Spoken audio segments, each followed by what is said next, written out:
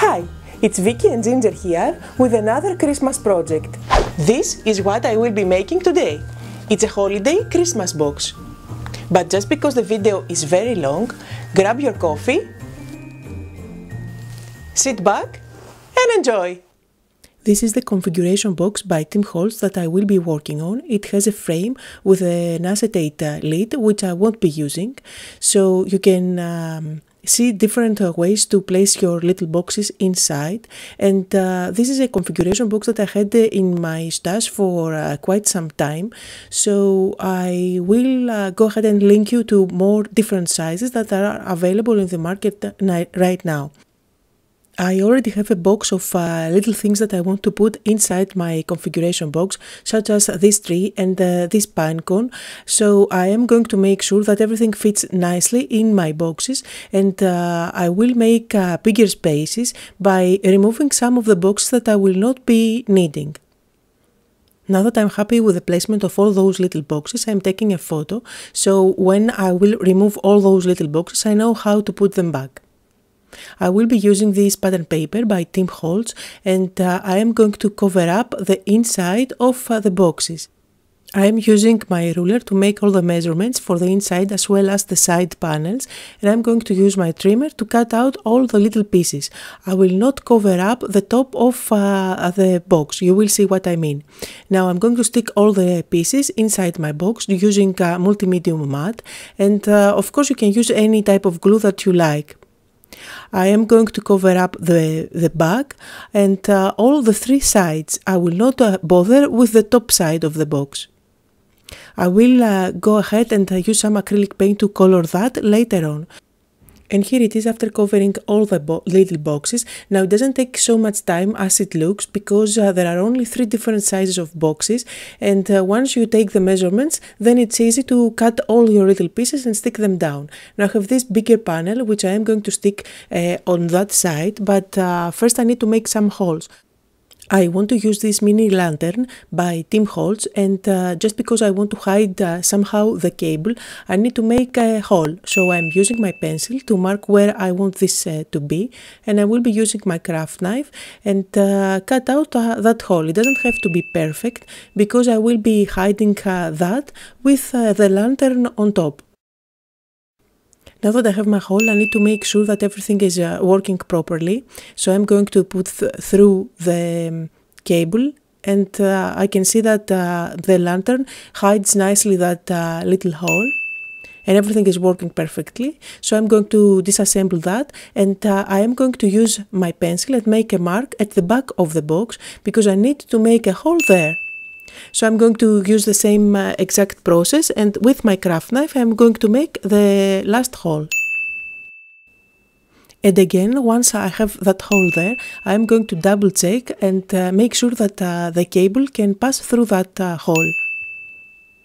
Now everything looks to be working perfectly, so I'm going to put the boxes inside the big one again and uh, I am going to use my matte medium to stick uh, down that side panel.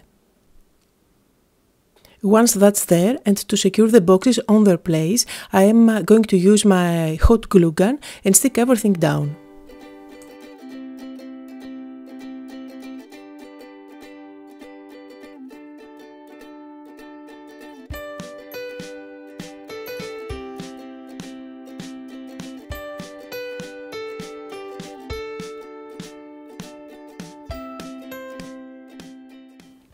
To cover up the, the top edges of all my boxes, I will be using this uh, Tim Holtz uh, washi tape and um, I am going to make sure that I cover up everything that shows. Just because washi tape uh, doesn't stick too well and uh, to make sure that it will not um, peel off, I went all over that uh, at the end with my gel medium and this is going to make sure that it's nicely secured.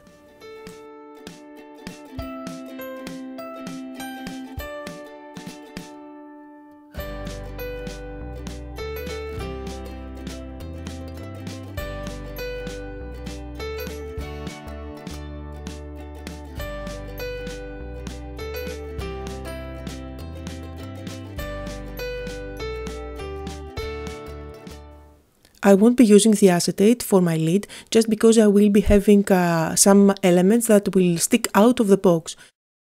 But I will use this frame because it gives a nice finished look to my project. So for that I just cover it up with uh, gold acrylic paint and I'm also dabbing it with my sponge in uh, some areas inside the box just to bring everything together. For the parts that I didn't uh, cover with uh, pattern paper, I'm just covering them now with my brush and that uh, gold acrylic paint.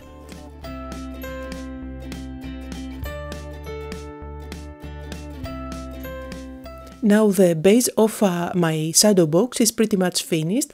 All that's left to do is to stick the frame on top using my glue gun.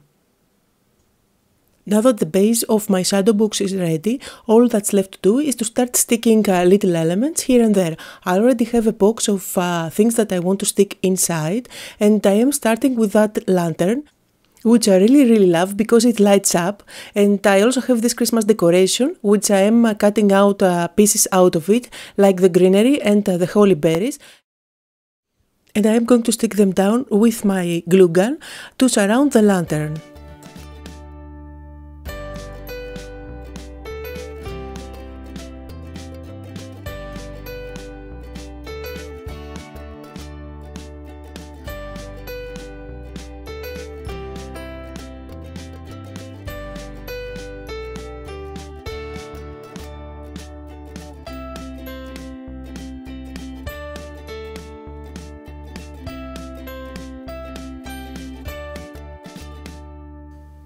Also when I was shopping for my Christmas decoration I got this uh, snow globe with a Santa inside and I made sure to be uh, as tiny as I could so it can fit in uh, this uh, tiny little box. I am also going to stick down this pine cone at the top corner of the box and I have here a package of uh, Tim Holtz. These are the letterpress and uh, they are actually wooden letters. I am going to uh, pick up the number 2 and 5 and I am going to apply some uh, gold acrylic paint on top and this is going to help highlight the letters as they are raised from uh, the block. Now I am going to color this uh, Christmas tree and I am uh, going to use Forest Moss Distress Stain. I don't have the spray on uh, this color so I am creating my own spray. I'm just uh, adding a little bit of this color on a spray bottle and I'm just going to spray all over the um, tree. Now the set that I got this tree from is uh, one by Tim Holtz that has uh, two uh, trees as well as one uh, wreath which I am going to use later on. I am also going to uh, use just a little bit of uh, gesso and I'm going to apply it with a dabber all over my tree just to add a little bit of snow. So now it's time to put everything together. I'm going to stick down the tree as well as uh, number 25 and uh, if you notice I am using my glue gun for sticking down everything on this project. This uh, was uh, really quick for me and I didn't have to wait for uh, any type of glue to dry.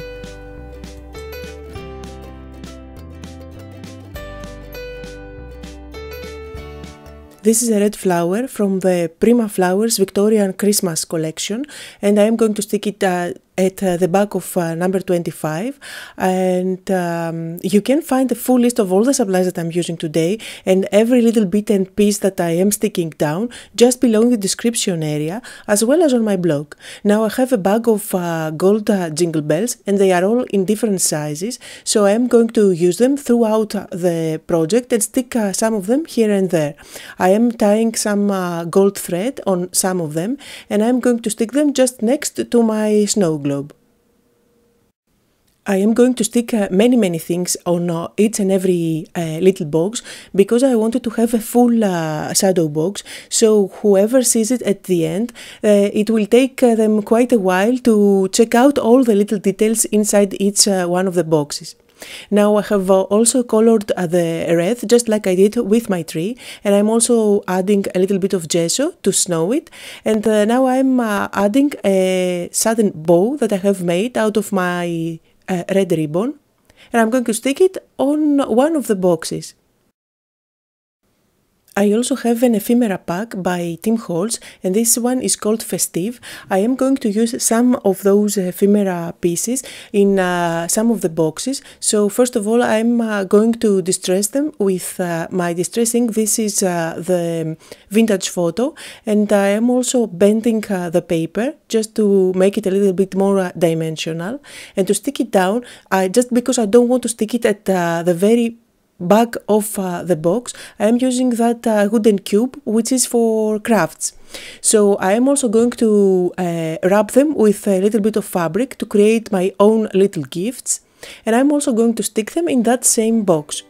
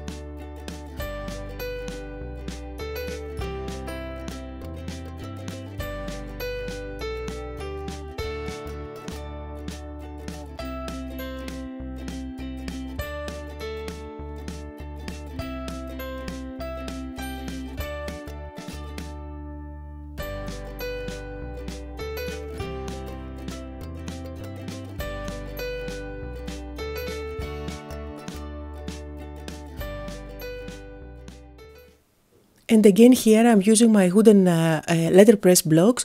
I am also treating them just like I did with number 25. So I have added uh, just a little bit of uh, gold acrylic paint on top and I am sticking them down with my hot glue gun.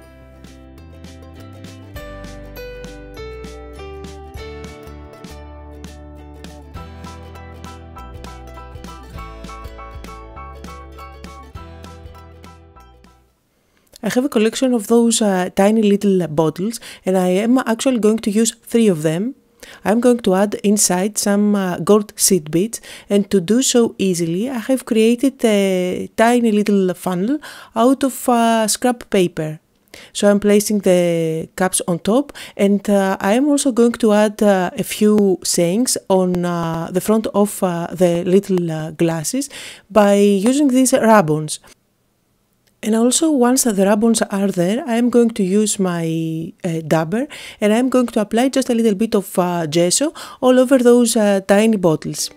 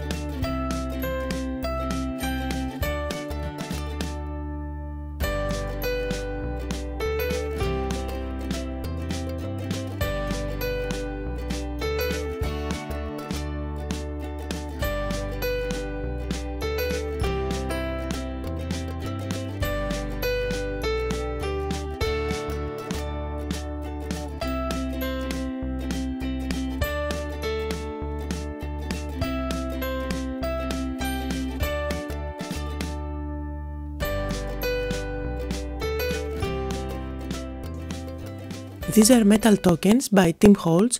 They are Christmas themed and they have nice words on uh, written on them, such as uh, Noel and uh, wishes and uh, things like that. So I am going to spread them and uh, stick them all around my boxes. So I am now doing uh, the finishing touches on my box. I have finished uh, all the little boxes and now I am using those brads uh, to add even more uh, sparkle and uh, interest on uh, different areas. So I am cutting out those legs with my Tim Holtz scissors and I am sticking them in different areas using my hot glue gun. I am also going to use the smaller brads for decorating my tree.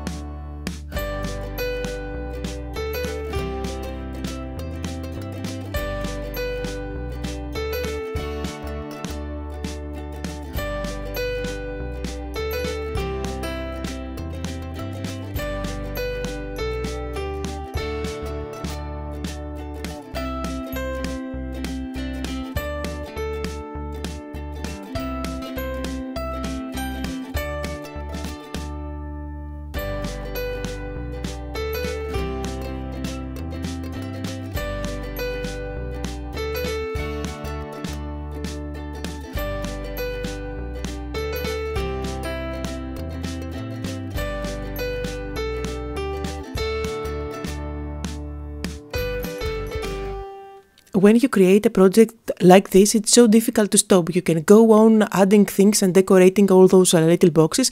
Uh, forever. So anyway, I decided that it was enough. So I am bringing everything together by dabbing a little bit of uh, white gesso with my dabber on different uh, parts of uh, my boxes. This is going to create the illusion that everything has snow.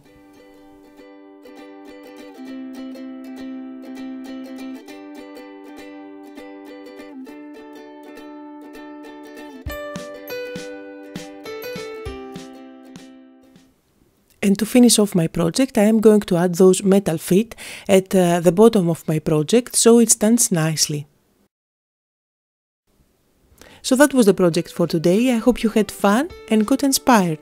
And if you did, don't forget to share this project on your social media with your friends, as well as leave me a comment and give me thumbs up. And if you haven't subscribed to my channel already, make sure to do so because this is the way to tell me that you love my videos and you want to see more.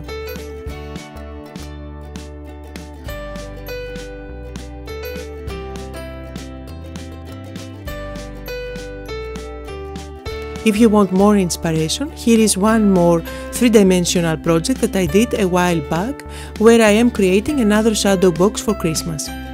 Thank you all for watching.